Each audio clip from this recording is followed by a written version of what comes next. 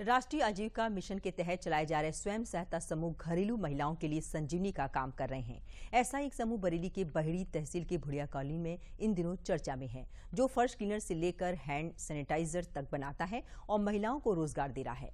महालक्ष्मी स्वयं सहायता समूह को सरकार से एक लाख रुपए की मदद भी मिली है।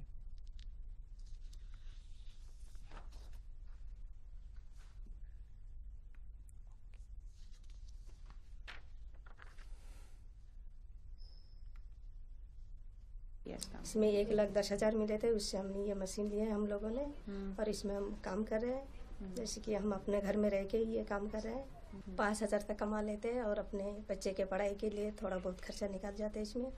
ये काम कर रहा है। इसमें हमारा जो मिलता है तो वो गुजारा हो जाता है हमारा घर के लिए। बच्चे को पढ़ाई के लिए भी हो जाता है थोड़ा।